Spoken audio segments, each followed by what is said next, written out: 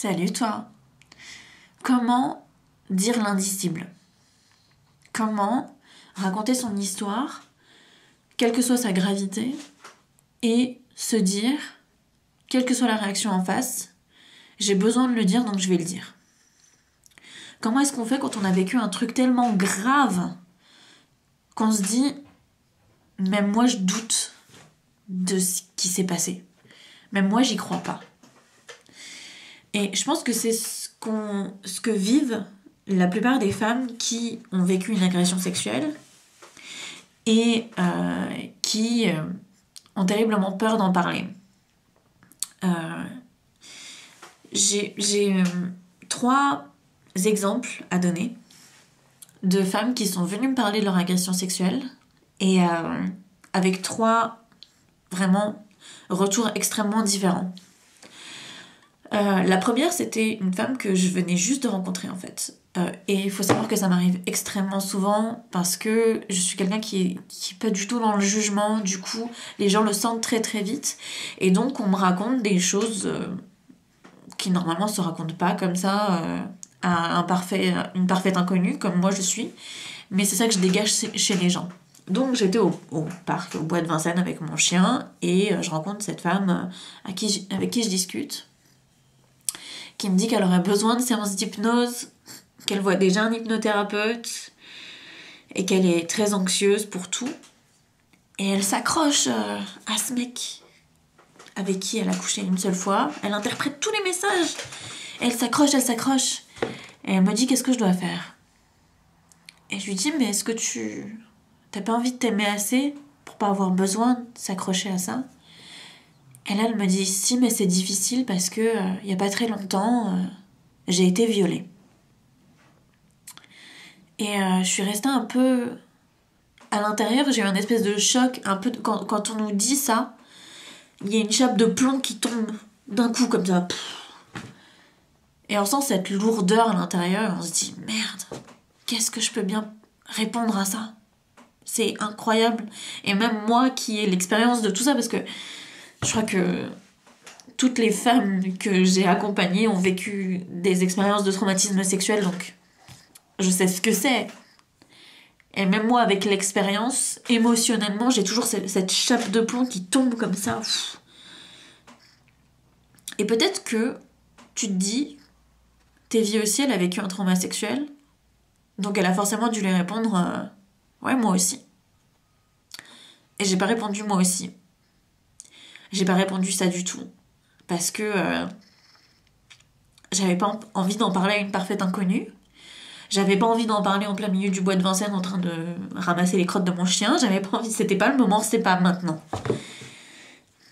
Et je sentais aussi qu'elle, en face, était pas capable d'entendre ce que j'avais à lui dire. Et j'avais cette peur. C'est incroyable. J'avais cette peur, moi, de me dire, ça se trouve, elle va pas me croire. Alors qu'elle l'avait vécu elle-même.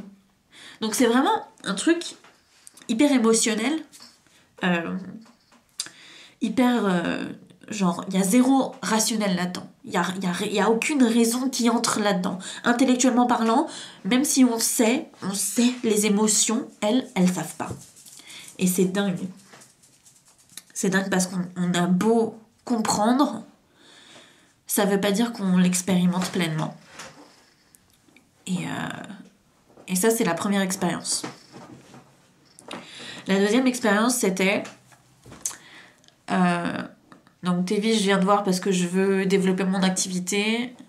Je, je suis psychologue et je me suis spécialisée dans les victimes d'abus sexuels. Ok. Moi-même, j'ai vécu un abus sexuel quand j'avais 15 ans.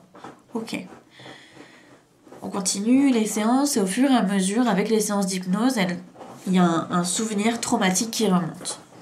D'abus sexuels quand elle était bien plus jeune, par un membre de sa famille. Et euh, c'est terrible parce qu'elle me dit euh, Je le savais, mais j'y croyais pas. Et comme je l'ai dit à demi-mot avec l'expérience d'avant, souvent on n'y croit pas en fait. on n'y croit pas, on se dit non, ça m'est pas arrivé, euh, non, il y a un truc qui. Si j'ai des blocages, c'est forcément autre chose, je me fais des idées et. Ouais. Et de toute façon, qui me croira? Et parfois même, il y a un truc terrible qui se passe, c'est que on n'y croit pas, on va en parler à quelqu'un, et la personne nous dit Tu te fais certainement des idées. Et là, c'est pire que tout. Cluedo, est-ce que tu peux arrêter de gratter sur le, tapis, s'il te plaît Merci. Mon chien gratte. Et c'est fou, en fait, parce que j'avais beau. euh, j'avais beau moi-même comprendre ce que c'était. Là, également, je l'ai compris avec mes émotions quand elle m'a dit ça. C'est-à-dire que euh, aujourd'hui, quand je raconte mon expérience de trauma sexuel, euh, vu que c'est un trauma qui implique une personne de ma famille, j'ai encore peur que cette personne tombe sur mes vidéos, regarde et se dise putain elle ment et mette des commentaires partout pour dire elle ment, elle ment, elle ment, ça lui est pas vraiment arrivé, elle ment, j'ai jamais fait ça, ah là là. Et euh, qu'est-ce qu'on peut faire? Qu'est-ce qu'on peut faire à, à part confronter les gens à la réalité Et cette cliente, elle l'a fait, elle a confronté ses parents à cette réalité qui n'ont pas du tout accepté et lui ont dit qu'elle surréagissait et euh, qu'ils n'avaient pas du tout envie d'entendre ça. Et c'est terrible parce que la violence, en fait, elle arrive deux fois. Elle arrive même trois fois. La violence, elle arrive au moment de l'agression. Elle arrive plus tard, au moment où on s'en souvient et on commence à en parler. Et elle arrive aussi de la part des gens à qui on en parle et qui posent des questions. Et l'exemple le plus terrible que moi j'ai à donner de mon expérience, c'est que quelqu'un m'avait demandé des précisions sur ce- cet événement de ma vie. Donc j'en ai parlé en soirée parce que voilà. J'ai dit c'est vraiment terrible, mais si tu te sens vraiment prête à entendre ça, c'était une femme. Si tu te sens vraiment prête à entendre ça, je peux te le raconter. Et j'explique ce qui s'est passé. Et elle me dit Mais pourquoi il a fait ça? Et dans, et, et dans mes émotions ont eu un espèce de dégoût pour cette question. Genre, à quel moment est-ce que l'histoire lui appartient à lui? À quel moment en fait? À quel moment euh, est-ce que ça a été une souffrance pour lui? Est-ce que lui, euh, il a été... euh, il s'est senti agressé quand il m'a agressé? Est-ce que lui, il a ressenti de la, de la, souffrance? Est-ce qu'il il, il a, il a vécu dans le déni pendant des années? Est-ce que lui... Parce que mon agresseur, qui est mon frère, il vit très bien. hein. Il est en CDI, il est marié, il a deux enfants, il va très bien. Il va très très bien. Donc pourquoi il a fait ça Ça n'a rien à voir dans la conversation. Et j'ai une, un espèce, une espèce de colère quand j'en parle. Parce que c'est ce genre de réaction, en fait, qu'on provoque chez les gens qui nous en parlent.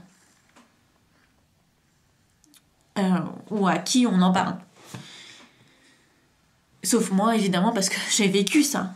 Sauf les gens qui ont été victimes aussi, qui ont vécu ça. Les victimes euh, ne vont pas venir questionner ce qui t'est arrivé. Parce qu'elles savent qu'il y a cette petite forme d'incertitude qui reste là de ça se trouve ça m'est pas arrivé. Et ça c'est terrible, c'est terrible. C'est terrible parce que quand on te remet en question une histoire aussi horrible, tu prends le risque de vivre ta vie avec cette douleur sans qu'il y ait aucune raison en fait. Parce que, ah bah finalement, j'ai pas été agressée. C'est affreux de dire ça. C'est affreux de faire ça. Ne faites pas ça. C'est affreux. C'est affreux. Et la dernière expérience, euh, on m'a raconté euh, un, trauma sexuel, euh, la dernière. Il y en a eu plein, mais j'en donne que trois aujourd'hui. C'était euh, euh, une de mes, de mes dernières clientes qui. qui, qui c'était un de ses comment dire un, membre de sa famille qui l'a agressé sexuellement elle l'a raconté à sa mère et un jour, euh, cette femme qui s'est fait agresser, euh, qui a été agressée, euh, fait une conférence, monte sur scène, fait un atelier pour quelque chose. Et sans la consulter, sans la prévenir, sa mère invite la personne qui l'a agressée. Et il a fallu, c'est incroyable, je, suis encore abasourdie et il y a encore cette espèce de chape de plomb qui m'entraîne quand j'en parle. Parce que non seulement, enfin, je suis triste pour elle, mais en plus je suis indignée, quoi. Mais je vais finir cette histoire. Donc, elle a dû dire explicitement à sa mère, quand même, qu'il ne s'était rendu compte de rien. C'est fou, c'est fou cette histoire. Elle a dû lui dire explicitement, euh, écoute maman, euh, peut-être que c'était pas une bonne idée en fait d'inviter mon agresseur sexuel à un de mes ateliers, non? Non? Qu'est-ce que t'en penses?